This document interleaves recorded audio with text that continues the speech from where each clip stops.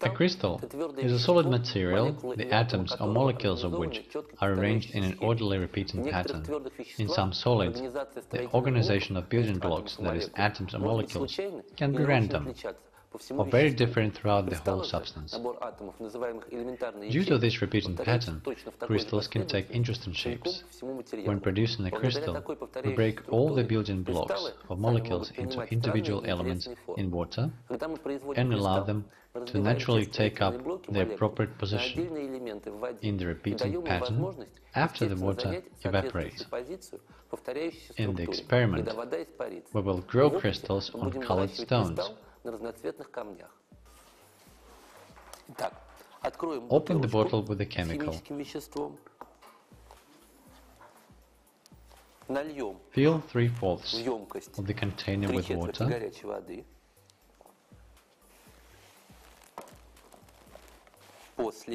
Then we pour some rocks for the crystal to grow on in another container.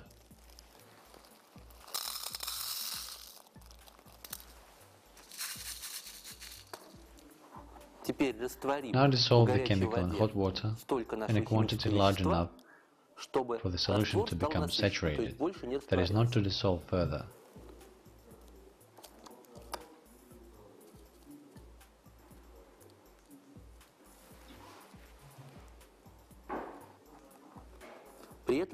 As you do this, leave a small number of crystals so that they can serve as seeds, that is a scaffold for crystal growth. Now it stopped dissolving. After this, pour this solution on the rocks so that it would cover these rocks a little. And you need to take several big crystals and add them to the solution. The branches of other crystals will grow on the substrate of these crystals. After that, put the container in a place where nobody will touch it and where it will not be subjected to temperature gradient. You can cover the container by a sheet of paper to keep away the dust. If the crystals are left unperturbed, they will grow larger and larger in a few com coming days. As soon as the first crystal grows and reaches the surface, the solution should be merged.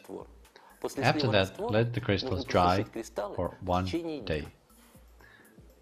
A few days later, we can see how our crystals grow on the rocks. We also tried another method and used smaller strings instead of rocks, here and here.